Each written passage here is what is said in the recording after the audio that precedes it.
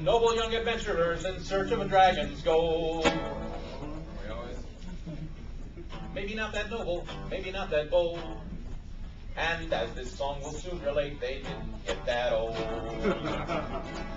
now, when I gamed a lot back in the uh, late 70s and early 80s, and actually for most of the 80s, um, my primary system was RuneQuest. In RuneQuest, you can do pretty much anything you want. Um, you can learn magic, you can use armor, you can do all those goodies. You can join a religion, uh, a cult, and appeal to your god through the mechanism of divine intervention. Uh, abbreviated throughout the rulebook says DI. Remember that. Their leader was Delphine the Black. She fought with double swords. She wiped her feet on noble flops and humbled mighty lords. There was also a dwarf named Bristol, quite a strong and ugly lump.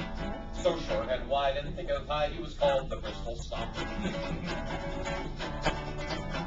The drunken druid, was the party's magic power. He spent his days in a bourbon haze through every waking hour, and for Delphine's affections fought with varicose the vein. A pretty boy elf with a big axe and a thing for causing pain.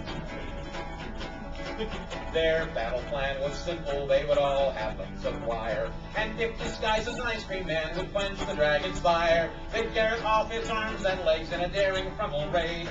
And if that didn't work, well, they always had the holy hand grenade. So they started off for the dragon's cave, its treasures for to take. But halfway there, the birds flew off and the ground began to shake. They heard a roar and a terrible crash, and they all turned round to see the dragon right behind them cleaning its nails on a tree. And they ran through the brambles, and they ran through the briars, and they ran through the bushes, and ran through the ran so sorry.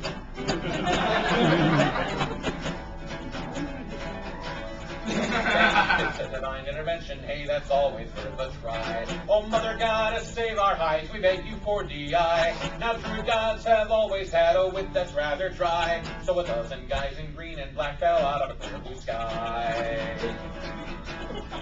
They landed with a mighty yell, cause landing hurts a lot.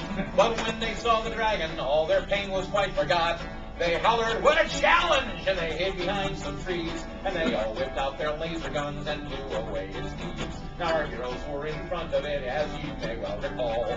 And when its legs were vaporized, they knew where it would fall. Now Biff had a chance to save just one, and it caused him awful pain. And choose who lived, whether Bristol, whether Delphine, or whether Vane.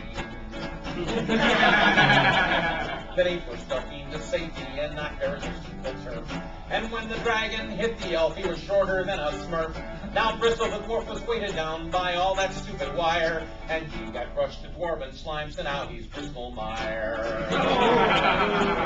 oh, that's nothing. The sound effect was squib. Delphine and Biff, the drunken druid, send up a thankful prayer, and thought of all the dragon gold the two of them would share, till they remembered all those warriors wondering what to do. And then that balmy druid said, We're friendly, who are you? so, if you ask adventurers, they'll always say the same. Don't ever bother dragons, nothing adventured, nothing gained.